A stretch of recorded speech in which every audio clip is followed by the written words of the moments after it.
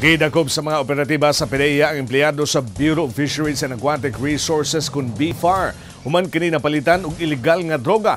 Gawa sa pagpayuhot og ilegal nga droga nagpositibo sab kini sa drug test. Nagapatrol Joe Yeke. Gipusasan gilayon sa taga Pideya ang 51 anyos nga si Lauro Galindo. Human kini napalitan og 500 pesos nga balor sa gidiling droga sulod mismo sa iyang panimalay sa Kisanlo Barangay Ipunan sa Cagayan de Oro Hulyo 12. Nakuhaan sab siya og laing usa pa kada kong pakete sa illegal nga droga nga gibana-banang motimbang og 5 gramos ug mobalor og 34,000 pesos.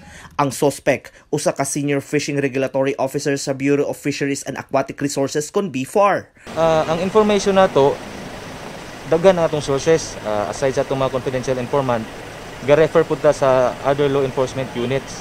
So na-verify ginato mismo sa field nga aktibo siya, engaged siya sa pagpayuhot sa illegal nga drogas.